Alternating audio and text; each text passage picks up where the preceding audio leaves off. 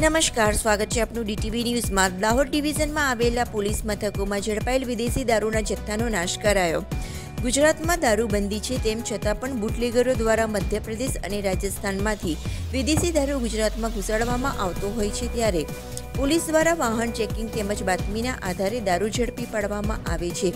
આવા જ કેસમાં દાહોદ ડિવિઝનમાં આવેલ દાહોદ ટાઉન એ અને બી ડિવિઝન દાહોદ ગ્રામ્ય કતવારા ગરબાડા જીસાવાડા તેમજ રેલવે પોલીસ મથકમાં અલગ અલગ સમયે ઝડપાયેલ વિદેશી દારૂના જથ્થાનો આજે નાશ કરવામાં આવ્યો હતો દાહોદના છાપરી ખાતે દાહોદ પ્રાંત અધિકારી એએસપી સહિતના પોલીસ અધિકારીઓની ઉપસ્થિતિમાં કુલ એક કરોડ પંચોતેર લાખના વિદેશી દારૂના જથ્થા ઉપર બુલડોઝર ફેરવી દારૂનો નાશ કરવામાં આવ્યો હતો બુલડોઝર ફરતાની સાથે મેદાનમાં દારૂની નદીઓ વહેવા લાગી હતી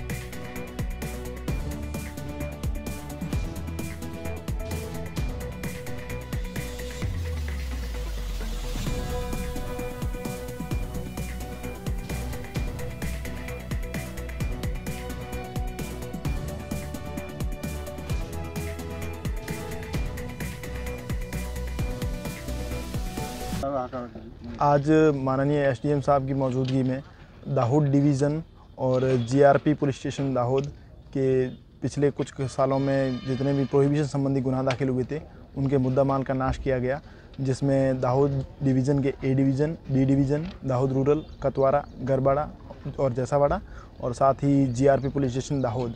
इनके कुल आठ गुनाहों में कुल दो लाख पैंतालीस हज़ार छः सौ छियानवे बोतलें बरामद की गई थी। जिनकी कुल कीमत एक करोड़ पचहत्तर लाख इकतीस हज़ार चार सौ सत्ताईस रुपये थी। इतने कुल मुद्दा माल का आज नाश किया गया।